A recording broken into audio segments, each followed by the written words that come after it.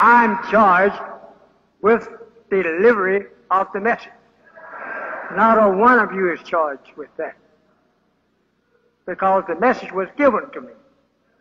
And if I have 40 million helpers, they all, every one of them, is helping.